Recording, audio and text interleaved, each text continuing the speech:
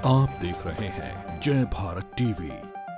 तीन बार हमने सरकार बना दी है उसके बाद भी अगर ये आतंकवाद खत्म नहीं हो रहा है तो कहीं ना कहीं सरकार की कमी है। तो आपको लगता है कि सरकार थोड़ा ढीला रवैया अपना रही है आतंकवाद लग रहा है अपना सरकार पूरा ढीला रवैया निभा रही है और इस बार तो गठबंधन की सरकार आ गई है इस बार तो ज़्यादा ढीला रवैया अपनाया जाएगा। फिर आप मांग करते हैं राष्ट्रपति जी से कि अपना इनको ढूंढा जाए इनको फांसियाँ दी जाए। राष्ट्रपति से मांग कर रहे हैं? राष्ट्रपति जी से मांग करते हैं। प्रधानमंत्री हैं देश के? नहीं राष्ट्रपति जी से मांग करेंगे हम। प्रधानमंत्री जी को हमने अपना देख लिया तीन टर्म में। अब हम राष्ट्रपति जी को ज्ञापन दे रहे हैं। तो हिंदुवादी सरकार है। आप तो तमाम बजरंग दल विप हिंदूवादी सरकार की वजह से तो अयोध्या जीत गए हम।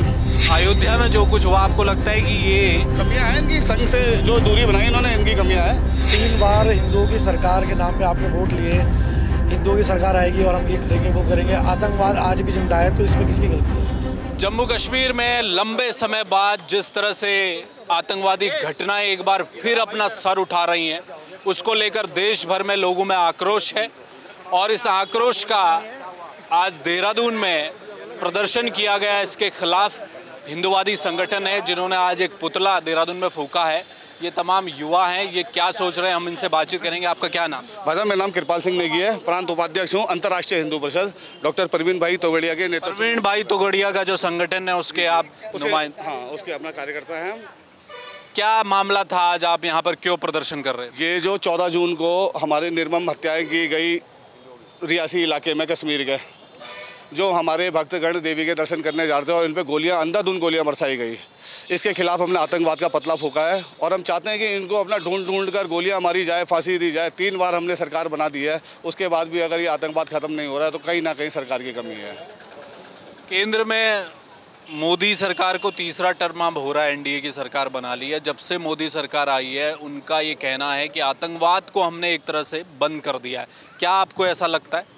आतंकवाद को बंद नहीं किया, छुटपुट छुटपुट घटनाएँ हो रही है, कभी पंजाब में हो जा रही है, कभी अपना सिक्किम में घटना हुई है, अभी इतनी बड़ी, अभी यहाँ पर कश्मीर में घटना हुई है तो मुझे कहीं लगता नहीं है कि इतना ज़्यादा इन पर अंकुश लगाया जा चुका है। इन पर तो बिल्कुल ठोस कार्रवाई करनी चाहिए, जो जहाँ दिखा उनको वहीं मार देना चाहिए, ताकि इसको करने से भी आदमी डरे। तो आपको लगता है कि सरकार थोड़ा ढीला रवैया अपना रही है? आतंकवाद लग रहा है हमें अपना सरकार पूरा ढीला रवैया निभा रही है और इस बार तो गठबंधन की सरकार आ गई है इस बार तो ज़्यादा ढीला रवैया अपनाया जाएगा। जब दो बार पूर्ण बहुमत की सरकार में सरकार ने कुछ काम नहीं किया तो इस बार तो गठबंधन में क्या करेगी सरकार? फिर भी हम मांग करते हैं राष्ट्रपति जी से कि अपना इनको ढूंढा जाए इनको फांसियाँ दी जाए। राष्ट्रपति से मांग कर रहे हैं? राष्ट्रपति जी से मांग कर रहे हैं प्रधानमंत्री हैं देश के? नहीं राष्ट्रपति जी से मांग करेंगे हम। प्रधानमंत्री जी को हमने अपना देख लिया तीन टर्म में। अब हम राष्ट्रपति जी को ज्ञापन दे रहे हैं कि कम से कम ये तो हिंदुवादी सरकार है। आप तो तमाम बजरंग दल विहिप प्रवीण तोगड़िया सब लोग आप लोग अगर ऐसा कहेंगे तो फिर ये तो बड़ी बात हिंदूवादी सरकार की वजह से तो अयोध्या जीत गए हम। अयोध्या में जो कुछ हुआ आपको लगता है कि ये कमियाँ हैं इनकी संघ से जो दूरी बनाई इन्होंने इनकी कमियाँ हैं। संघ से दूरी की हाँ इनकी कमियाँ हैं संघ से दूरी और जो इनके बड़े नेताओं के बयान आते हैं। मोहन भागवत ने अभी बड़ी बात कही उन्होंने मणिपुर इनसे पहले जेपी नड्डा जी के बयान आए थे कि हमें संघ की आवश्यकता नहीं है वो अपना उनके जी अटल जी के समय पे थी संघ की आवश्यकता जी आप ये बताइए इस बार चुनाव हुआ आप तो संघ में और हिंदुवादी संगठन में आपका काम रहा आप लोग निकले बीजेपी के लिए बाहर? नहीं इस बार नहीं निकले हम लोग। नहीं निकले? नहीं नहीं। तो इसका खामियाजा उठाना पड़ा बीजेपी खामियाजा भरना पड़ा इनको जो इन्होंने अपना हिंदू नीतियाँ नहीं निभाई। इन्होंने इतने सारे अपना आतंकवाद पे रोज़ हमारा कुछ ना कुछ होता ही रहता है आतंकवादी घटनाएँ। इस पर कोई अंकुश नहीं लगाया। सिक्किम में मणिपुर में इतनी घटनाएँ हुई इस पर प्रधानमंत्री जी एक बार नहीं गए। तो इसलिए क्या किस लिए निकलना? केवल वोट देने निकले। वोट देने निकले। बड़ी बात है। आपका क्या नाम? मेरा नाम शैलेंद्र गुप्ता है। मैं महानगर महामंत्री हूँ राष्ट्रीय भजन दल। गुप्ता जी बताइए क्या लग रहा है? जैसा ये कह रहे हैं, क्या इनकी बातों में सच्चाई है? जी, बिल्कुल, इनकी बात से मैं सहमत हूँ। जब तीन बार हिंदुओं की सरकार के नाम पे आपने वोट लिए, हिंदुओं की सरकार आएगी और हम ये करेंगे, वो करेंगे, आतंकवाद आज भी ज़िंदा है तो इसमें किसकी गलती है? हम लोगों ने तो अपनी तरफ़ से वोट दिया है ना। हमने अपनी मेहनत करी थी। हमारी मेहनत का फल क्या निकला है? कि आज भी हमारे श्रद्धालु मारे जा रहे हैं। छोटे छोटे बच्चों को गोली मारी जा रही है। इसका बदला कौन लेगा? क्या हमें हथियार दिया जाएगा या हम लेके जाकर वहाँ के लड़ेंगे? तो सरकार का ये एक तरीके से ढीला रवैया है जिससे हम लोग ये मानते हैं कि सरकार इस मामले में कामयाब नहीं हो पाई कि आतंकवाद को पूर्णतः विराम लगा सके। विराम आपका क्या नाम है?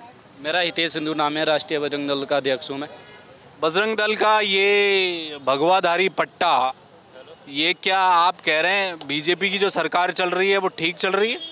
हमारी सरकार से ही मांग है कि आए दिन घटनाएँ घट रही, कभी लव जिहाद, कभी लैंड जिहाद, कभी हमारे हिंदुओं को गोलियाँ मारी जा रही पूछ पूछ के जात पूछ के गोलियाँ मारी जा रही। ये सब हमारे सरकार से ही मांगे ये सब बंद होना चाहिए। आए दिन जितना भी घटना हो रही, जितना भी हिंदुओं पे घटना हो रहा है, सब बंद होना चाहिए। अगर बंद नहीं हुआ तो हम और आंदोलन करेंगे, बड़ा आंदोलन करेंगे हम, अगर ये सब बंद नहीं होता है तो।